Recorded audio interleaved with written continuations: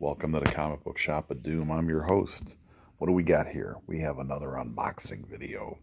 So this video is not for children. So if you're under 13, get your parents' permission to watch this.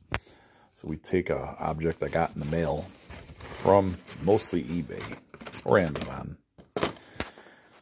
So here we go. We got Kino Lorber Studios. This is a Cannon movie. Uh, Harry Alan Towers produced it. Agatha Christie's Ten Little Indians. I got the DVD.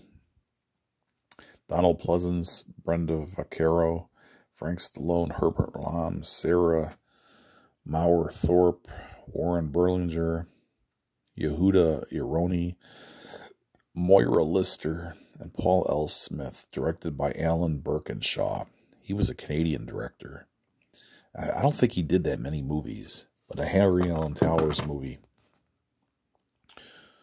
So it's one of those murder mysteries. So I always wanted to see this. And uh, it was cheaper to buy the DVD than to get the VHS tape. So the DVD is brand new because this is when MGM owns Cannon's library.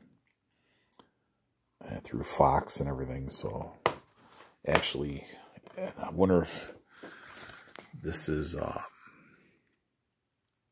what's it called now? Disney owns Fox.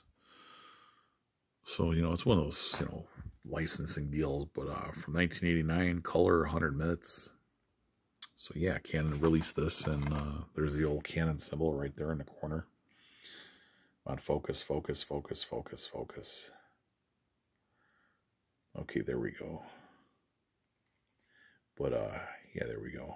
But, yeah, this is definitely, I want to see this. Frank Stallone, he's in the middle. So Sly's brother worked for the Cannon guys. So I wanted to check this out. And uh, I'll give you a review. Thanks a lot.